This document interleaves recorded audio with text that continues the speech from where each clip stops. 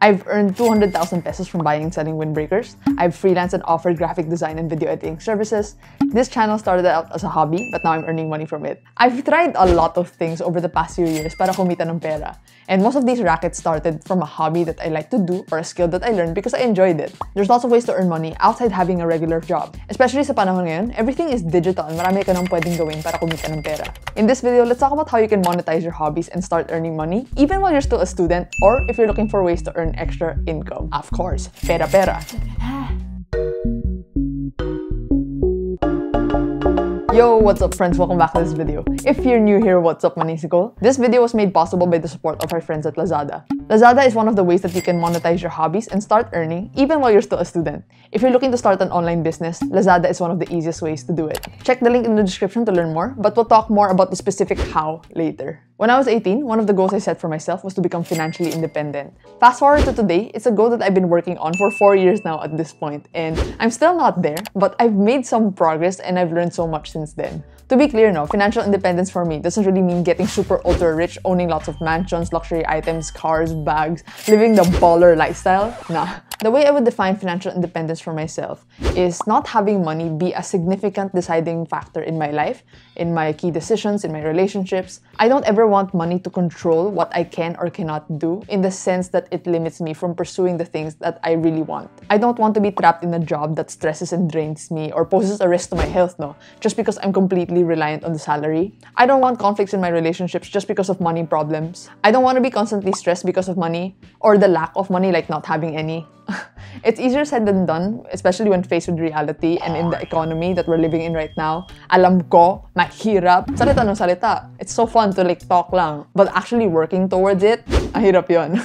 I graduated a few months ago and I've officially started my adulting journey. Call me crazy, but then I am a serial planner. I have an action plan with most of the things that I decide to do. I've been reflecting and preparing my postgrad plans for several months. Actually, one year na yata eh. Like yeah, I have a Notion page where I did the life reflection session.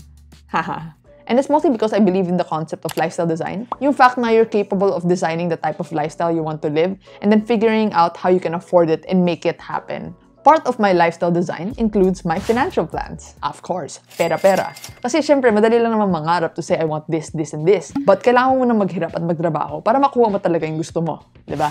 One of the ways I plan to achieve my goal faster is to establish multiple streams of income. Kasi if you're just relying on one income source to achieve financial independence, for example, 30,000 pesos per month yung sahod mo, mas matatagalan ka at mahirapan ka talaga to achieve that. 30,000 pesos, tapos financial independence number mo, like you want to have 5 million pesos.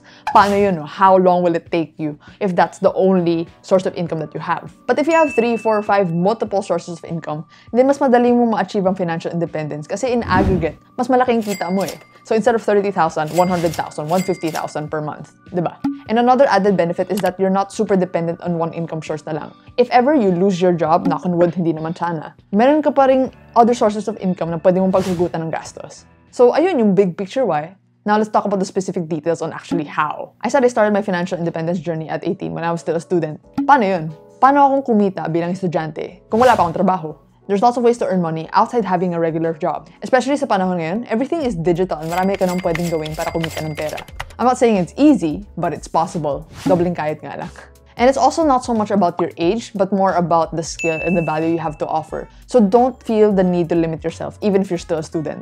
Mostly digital na nga ngayon eh, so one of the ways that you can start the side hustle is through online selling. Last year, I made a video where I bought and featured some of your guys' small businesses. So kung naghanap kayo ng idea, you guys can check that video out. When starting a business or thinking of ways to earn money, you, know, you don't even need to have huge capital to start. You just need a product, a business plan, then you can already start earning from home with your laptop or even just your phone. So once ready ka na, you can make use of an e-commerce platform like Lazada to start selling your products. I think most of us are familiar naman with Lazada. They're the leading e-commerce platform here in the Philippines. They were founded in 2012, so that's almost 10 years now. So they're pretty established and they have presence in six Southeast Asian countries. With e-commerce platforms like Lazada, it's a lot easier now to kickstart your online business. If you're still starting out, you might get a bit intimidated to start becoming an online seller, but you don't have to worry kasi Lazada can really assist you from end-to-end onboarding process, no? Ano ba yung kailangan mo matutunan so that you can become a successful online seller on Lazada? Whether you're just an individual or you're an actual business na, Lazada has several options for you to try if you want to start selling online. So there's Lazmall. This is for brand owners and official distributors. Meron din yung Lazada Marketplace. This is probably the easiest way and it's open to individual and corporate sellers. You can start selling with just 1% commission fee. And then there's Delivered by Seller. You can handle all of your transactions through Lazada, but you as a seller can be the one to ship it to your buyer straight na. So under this, there's Lazada Fresh. If you're selling frozen goods, mga eggs, frozen meat, isda. Bulky items if you sell furniture, appliances, mga motorcycle. Tapos special handling. Sabihin natin your G to try online selling. Baka yung next question mo naman is, why Lazada? Selling online removes the cost associated with having a physical storefront.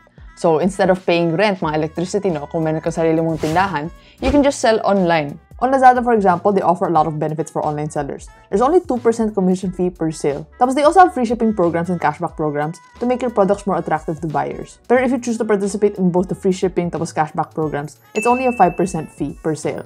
So it's a lot more cost-effective as opposed to having a physical storefront. Tapos you also have a dedicated account manager. May matatanungan kang contact directly from Lazada to get assistance when you encounter problems as a seller. And another reason is that there's already built-in traffic and users on Lazada.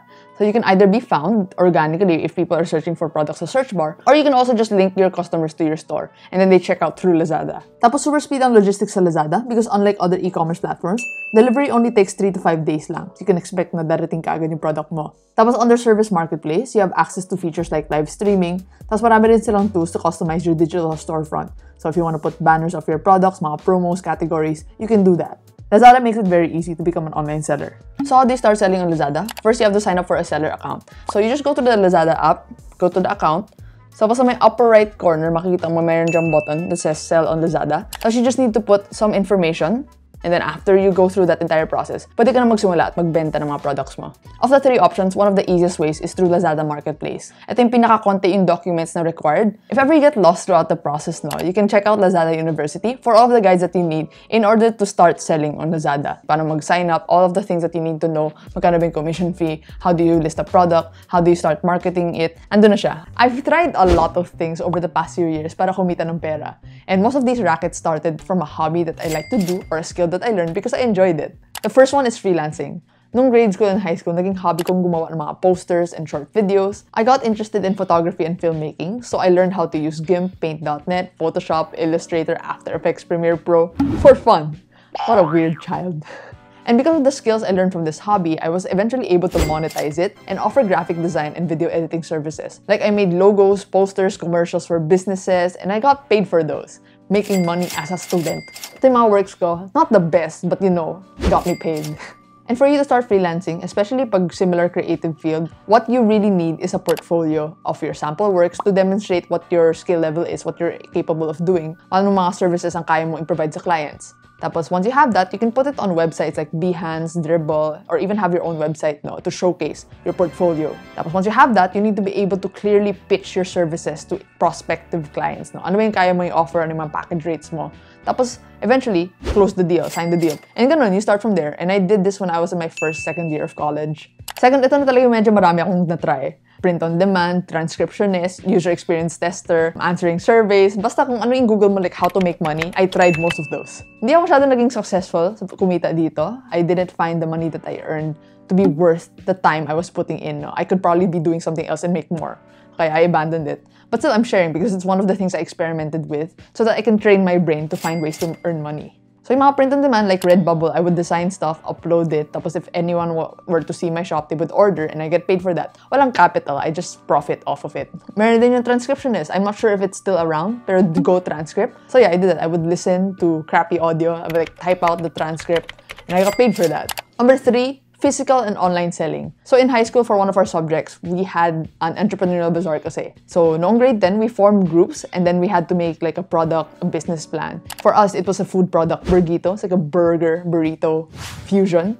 Tapos we sold it. And I also tried this buy and sell thing with windbreakers and I ended up earning 200,000 pesos. I made a video about this. You guys can like watch that for the story. I sold metal straws nung uso siya. Natry ko na rin yung bumili ako ng sako ng damit. Hinalungkat ko. Like, what are the things that I can resell here? Make it nice, take a picture of it, post it. And last year then, I made and sold merch. Yeah, dami ko na na-try. Training my brain to find ways to earn money.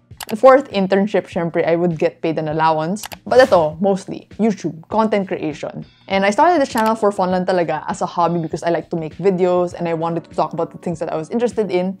And all of a sudden, lumaki yung channel ko. I'm here and I'm able to work with brands, no, yung mga partnership deals and earn money from that. AdSense, affiliate revenue. And all of the things I mentioned is just proof that you can make money outside of a regular job, especially when you're still a student. Because I did all of those when I was a student. Kakagraduate ko pa lang. So you can start working towards your financial goals even when you're still a student, even if nag-aaral ka pa. Kahit na bata pa lang tayo, it's possible to earn the same or even more than adults with full-time jobs. Being young is a superpower. We have time and energy. Creative mind lang talagang kailangan. Being financially independent would mean having the funds to be able to do whatever I want. Wala pa ako dun syempre no, I'm still at the starting line.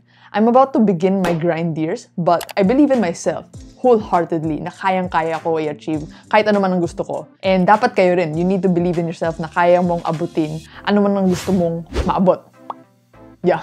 Kailangan may tiwala ka sa sarili mo na kayang-kaya mo. I'm not here to teach or lecture you guys. What I'm doing is that I'm documenting and sharing the things that I learned as I go through my 20s. This is one of the main reasons I talk about personal finance, investing, and self-development on this channel. Ang dami ko sinabi, but hopefully you guys learned something new from watching this video. Iba rin talaga when you start feeling a sense of empowerment, no? That you actually have control over your life, na pwede kong gawin ang gusto kong gawin. Kailangan ko lang talaga maghanap ng paraan so that I can sustain the type of life that I want. But yeah, check the description to learn more about starting an online business and selling on Lazada. Thank you guys so much for watching. I'll see you in the next video. Bye bye!